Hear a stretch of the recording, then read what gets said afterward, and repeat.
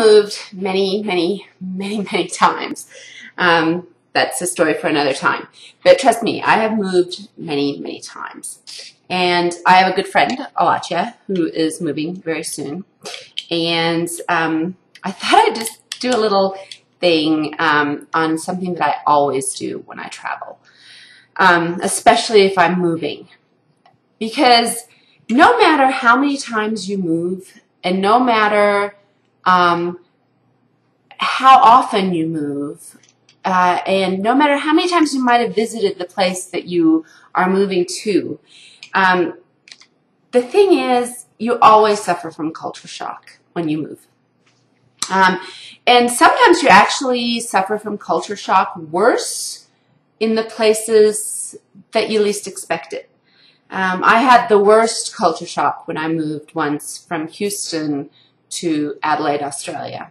Um, I was expecting it to be super, super easy. Um, they speak English. Um, they have English TV shows. They have, sort of a, a reputation for being something in between uh, um, a British culture and an American culture, which is true. But because I expected it to be so easy, um, it was actually really, really, really difficult.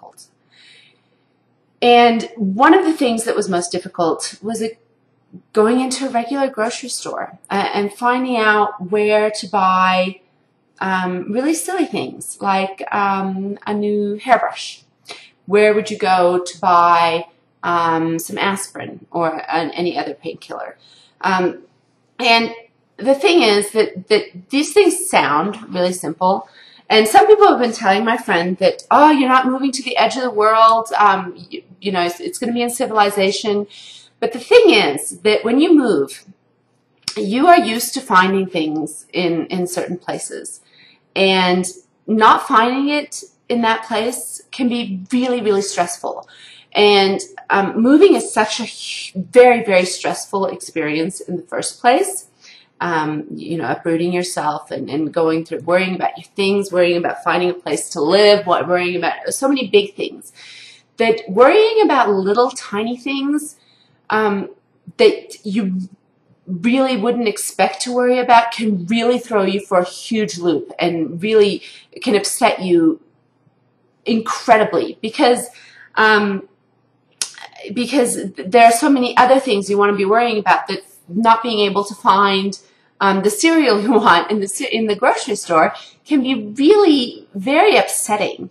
Um, I know it sounds like very spoiled or, or very um, like you're used to material things, but that's not necessarily it. It's just that uh, if, if you can keep the day-to-day things that you expect in, a, in your routine as pain-free as possible and as easy for you to get through as possible, the easier it will be to deal with the big things. Um, because uh, usually when I move, the thing that cause things that cause me to have a nervous breakdown and just collapse in a heap, a puddle of tears on the floor, are not usually the big things. They're the little things because you expect them to be there all the time. So today I thought I would just tell you, you know, what I keep with me at all times when I travel in my carry-on. Um, and you might laugh at some of them, but, but th these are just like medicine-wise stuff. Um, and what I do is I take a bottle um, that's about this size or even this size. It depends how many things you have that you really freak out about um, or might need. and I empty it and I put the things I need into it.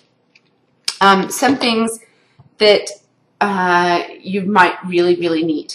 Um, someone else mentioned this once uh, in a Google Plus post. Benadryl. If you suffer from allergies at all, um, even if you are on other allergy medication, sometimes Benadryl is the only thing that works. And being able to find that in a foreign country, I don't care how much they speak English, I don't care how much they have allergy medication, you need it. And so I usually take about four to six, um, just because that gets you through a few days until you can figure out where to buy more. Um, and then, like Benadryl comes in these things sometimes, and so I rip it up And you can even take them out of these things because they're pink and you can separate them from other things so easily. And rip them up, stick them in the big jar. Advil PM. Um, there are two options for sleeping. One is Unisom, um, and one is Advil. I don't care if you have sleeping pills in the country that someone is moving to. You say, oh, you can get that here. Yeah, but you don't know. You don't know off the back of your hand where you're going to drive to, where you're going to run to to get that medication. To not have it is stressful. It's something you shouldn't need to worry about.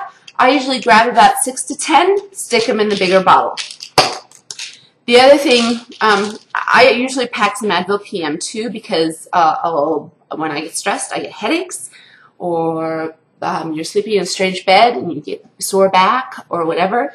Stick your favorite pain medication with PM in it, which you might not be able to find in the country that you're going to. Stick them in the jar. A 10, something like that. Um, my son needs um, Imodium. If you don't know what Imodium is for, please look it up. Um, but he, he needs those. I usually pack three or four, stick them in the big jar. The other thing, um, some other people in the family uh, don't need the Imodium. They go the other way and they need the Ex-Lax because if you get a regular, when you're first traveling, you can get um, highly irritable and it's hard uh, to be irritable and waiting to go to the bathroom when you are trying to deal with other moving shit. So I pack some of those, tear up the little piece and stick them in the big jar. All of this is stuff that you can tell apart. Um, if you have birth control pills, stick those in there. Um, your regular allergy medication, this is Claritin, which I have to take every day, stick that in the jar. And then you have it in this little jar. The other thing that I always travel with, if I'm a girl, I am a girl, if you are a girl, I don't care how regular you are. I don't care how much people tell you, oh, we have feminine products like tampons or pads or whatever in the country you're going to. Pack some, at least enough to last you a day because you don't know whether they have the brand that you're used to. You don't know where in the grocery store to find it you don't know what it looks like in the grocery store you're going to. Maybe they don't have it in the grocery store. Maybe you have to go somewhere special. Um, I've been in that situation uh, where I couldn't find the product in an airport. Um, so that's something I always carry with me too. I will try to think of other things, but for today, that's it. Um, and if you're ever traveling, yo, me. I'm going to ask. okay. Have a good one. Bye bye.